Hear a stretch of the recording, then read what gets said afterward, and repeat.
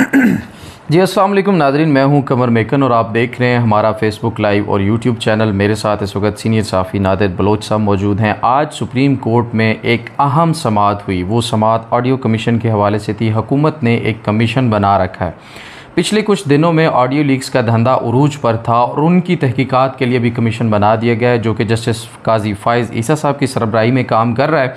आज इसकी समात का क्या अहवाल है? इसमें chief justice justice Aamir Farooq, Islamabad high court के जो चीफ़ जस्टिस हैं, वो भी मौजूद थे। तो इसका तमाम जो अहवाल है, नादिर बलोच साहब से पूछेंगे कि क्या हुआ और आने वाले दिनों में इस केस के हवाले से क्या क्या नई चीज़ें सामने आ सकती हैं। जी वालेकुम, नादिर बलोच साहब। जी वालेकुम सलाम। कैसे हैं आप? ठीक ठाक ठीक ठाक आप सुनाएँ। सर आज ऑडियो लीक्स का जो धंधा चल रहा था आखिरकार उसके ऊपर समाज शुरू हो गई है।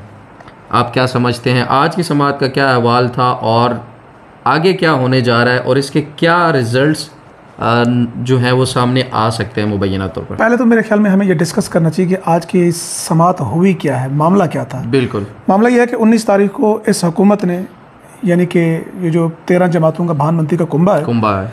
इन्होंने एक कमीशन बनाया कि ये कमीशन जो है उसके टी भी खुद तय कर दिए कि ये कमीशन ये छः से सात ऑडियोज़ हैं वो भी मुशखस कर दी गई हैं। कि इनकी तहकीकात करेगा और अपनी फाइंडिंग देगा। ये कमीशन कोई फ़ैसला भी नहीं दे सकता ये भी मैं आपको बता दूँ। ये सिर्फ़ इसके ऑडियोज़ का चेक करेगा और इस ऑडियोज़ में अगर इस सारी कन्वर्सेशन का जायज़ा लिया जाए तो तकरीबन टोटल अफराद जो बनते हैं वो बारह बनते हैं। हम्म। कि जो इसकी आवाज़ सुनी जा सकती है जिनके ऊपर बात की जा सकती है।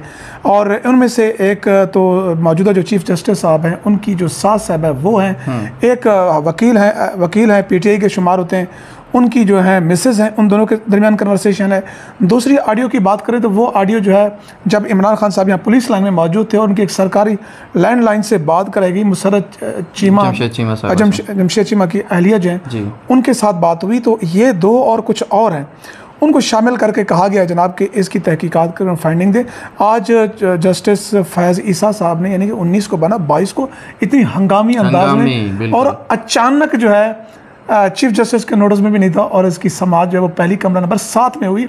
और उसके बाद दिलचस्प बात यह है कि जो हुक्मनामा जारी किया गया है, वो ये कहा गया है कि जी जितने भी इसके मुतासरा कहीं या फरीक हैं या जिनके जिनके ऊपर बात की जा रही है, उनको नोटिस किए जाएँगे? ऑडियोज में जितने लोग बात करने वाले थे सबको नोटिस हाँ नोटिस नोटिस को सर्व कैसे करना ये उसका भी बकायदा क्या गया अच्छा। कि नोटिस सर्व इस तरह होंगे कि इनको या तो यह है कि वसूल कराए जाएँ वसूल नहीं करते तो इनके घरों के ऊपर चश्मा किया जाएगा ये नोटिस अच्छा। और इस चश्मा करने के बाद उनके मुलाजमीन से वसूल कराए जाएँ और फिर यह है कि अगर नहीं तो फिर कमीशन जो है फिर अपनी कोई राय देगा या हुक्म देगा। लेकिन अफसोसनाक एक पहलू है और वो ये है कि इस जो कमीशन के सरबरा हैं वो जस्टिस फैज़ ईसा साहब हैं हम्म। जिन्हें इस बात पर सबसे ज़्यादा एतराज़ था कि उनकी मिसेज़ को जब एक नोटिस सर्व किया गया था तो उनकी सरकारी रिहाइशगाह पर हम्म। चश्मा किया गया था क्योंकि उन्होंने वसूल नहीं किया था, नहीं किया था। तो सेम आज आप वही काम करें क्योंकि इसमें एक मौजूदा चीफ जस्टिस भी हैं दूसरा ये कि एक और जज हैं जस्टिस मज़ाहर अली नकवी साहब हम्म। उनको भी आपने कमीशन यानी कि अब कहा यह गया कि ये लोग जिनकी बात हो रही है आके पेश हो सकते हैं फरीक बन सकते हैं क्योंकि जब क्या एक चीफ जस्टिस जो वो इसके इस कमीशन के सामने पेश होगा? क्या जस्टिस मज़ाहर नकवी साहब जो हैं इसके सामने पेश होंगे? हम्म। सवाल है। दूसरी बात यह है कि कमीशन बनाने की दरख्वास्त हुकूमत चीफ जस्टिस ऑफ़ पाकिस्तान से कर सकती है। हम्म। ये कैसे हो सकता है कि आप यानी कि पहले अदालत को तकसीम किया जजेस को तकसीम किया आज उसी में से एक जज को कहते हैं कि आप कमीशन बनाएँ और वो चीफ जस्टिस के बाद एक मोस्ट सीनियर जज हैं और वो जाकर जनाब कमीशन बना रहे हैं। तो ये सारी लीगैलिटीज़ हैं और इसके ऊपर जब हम बात कर रहे हैं तो पाकिस्तान तहरीक इंसाफ की जानब से इस कमीशन को चैलेंज कर दिया गया है। चीफ जस्टिस पाकिस्तान को बाकायदा दरख्वास्त दी गई और बताया गया कि ये आइनी अख्तियार चीफ जस्टिस साहब आपका है हम्म। आपने इस्तेमाल करना था। और इन्होंने कर दिया है तो आप इस पर कोई हुक्म दें क्योंकि अब इधर समात होगी। अब चीफ जस्टिस ऑफ़ पाकिस्तान के ऊपर है कि वो इसके ऊपर कमीशन बनाते हैं वो सिटिंग जज क्योंकि इसमें सिटिंग जज सिर्फ़ फायजिस हैं। दूसरा अगर मेंबर इलेक्शन कमीशन है एक जो है जस्टिस आमिर फारूक है हाई कोर्ट के और वो भी मुतनाज़ा तरीन जज हैं। मुतनाज़ अब देखिए ना जस्टिस आमिर फारूक साहब इस्लामाबाद हाई कोर्ट के चीफ जस्टिस हैं। कौन और वो हाँ और वो कार्रवाई करेंगे जस्टिस मजाहिर अली नकवी साहब के खिलाफ जो उनसे सीनियर जज सुप्रीम कोर्ट के हाँ। फिर उनको फरीक बनाया वो भी है। फिर बलोचिस्तान हाई कोर्ट के हैं। बात यह है कि आप आमिर फारूक साहब का कंडक्ट देखें कि टेरियान केस में दो जजेस कह रहे हैं हम्म। कि ये केस काबिल समात ही नहीं, नहीं है। और वो कह रहे हैं कि ना ही जनाब आपकी राय है ये फैसला नहीं है। जिसका मतलब, अपना कंडक्ट जो है वो मतनाज़ है आपने इसको शामिल किया है। बुनियादी तौर पर ये ख़राब करने की कोशिश की गई है। तीसरी बात ये कि जब ये नोटिस सर्व होंगे उसके बाद क्या होगा? और ये जस्टिस फाइज साहब कह रहे हैं कि हम कोई हुक्म नहीं देंगे हम कोई ये नहीं करेंगे हम सिर्फ़ अपनी फाइंडिंग देंगे।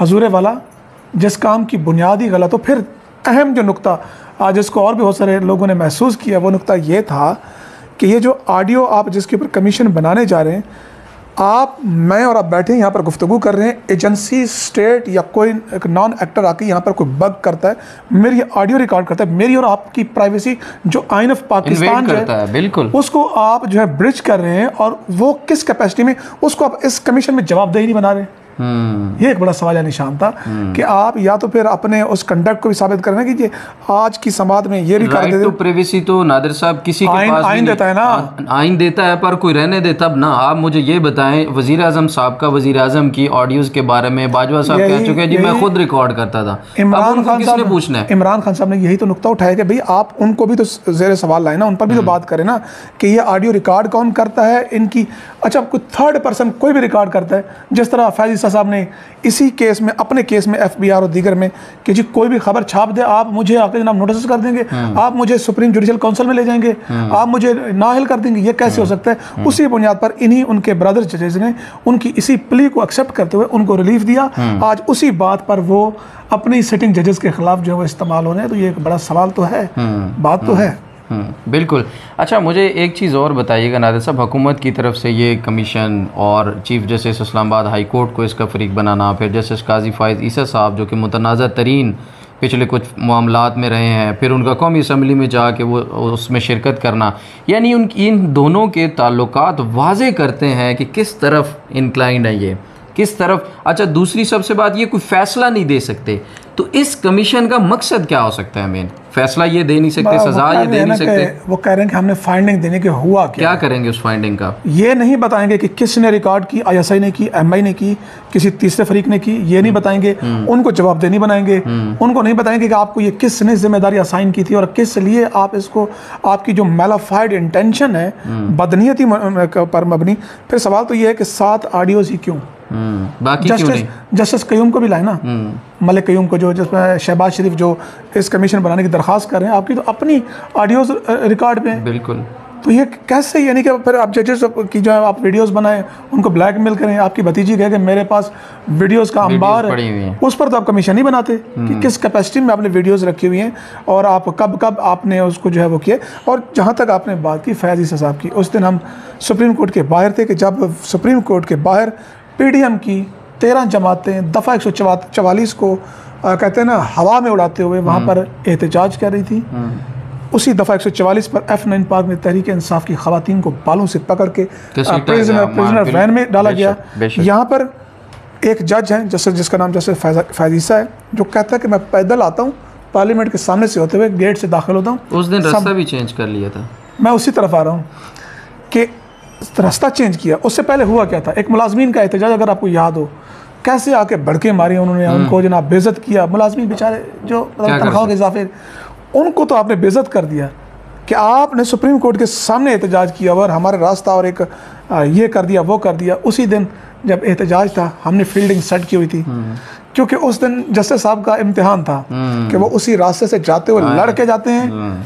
या किसी और रास्ते जाते फिर हमें पता चला कि वो पिछले जो गेट गेट था उससे निकल के वो घर को चले घर को ये तो बिल्कुल सर ये तो सूरत फ्यूचर क्या देखते हैं इस कमीशन का कोई फ़र्क पड़ेगा या ये जो चैलेंज हुआ है बस ये इस पे देखें जी पहली बात तो यह कि इन्होंने कहा कि पंजाब फ्रांसिक एड का एक टेक्नीशियन हम्म। जिसकी कोई औकात नहीं वो बताएगा कि यह ओरिजिनल है या नहीं। वो टेक्नीशियन इनको चेक करके बताएगा ऑडियो हम्म। अगर मतलब गवाह पेश नहीं होते तो फिर उसकी बुनियाद पर फैसला करेंगे।